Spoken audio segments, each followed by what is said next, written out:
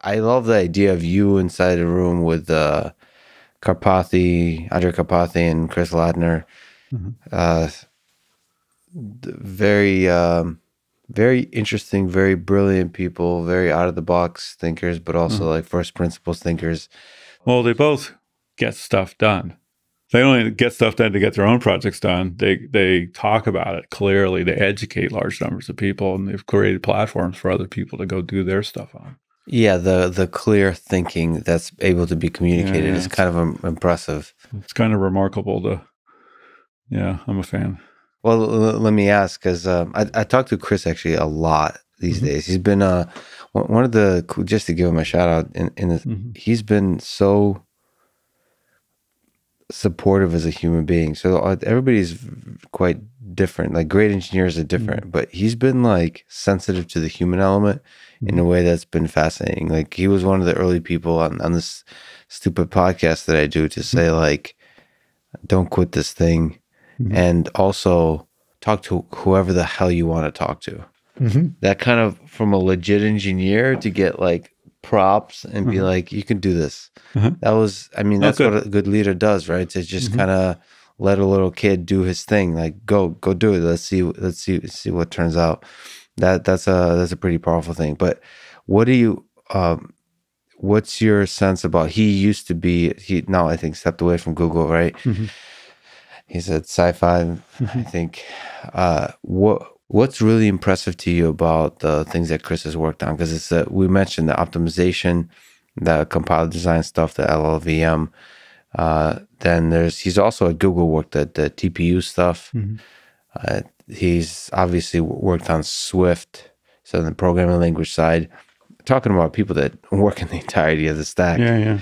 Uh, what uh, from your time interacting with Chris and knowing the guy, what what's really impressive to you that just inspires you?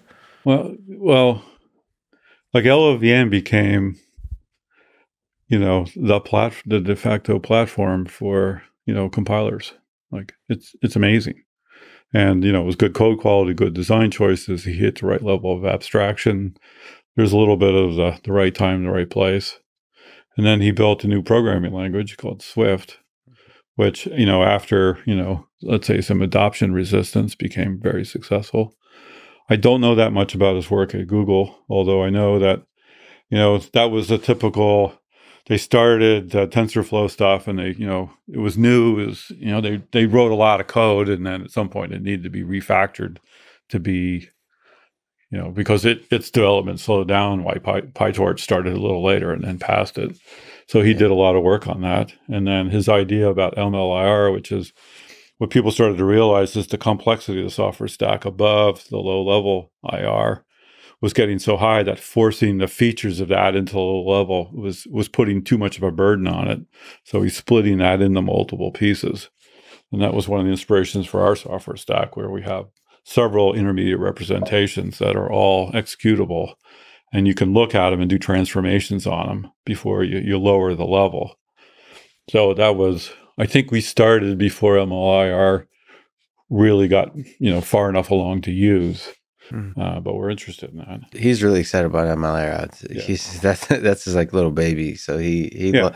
and yeah, the, there seems to be some profound ideas on that that are really useful. So so each one of those things has been as the world of software gets more and more complicated, how do we create the right abstraction levels to simplify it in a way that people can now work independently on different levels of it?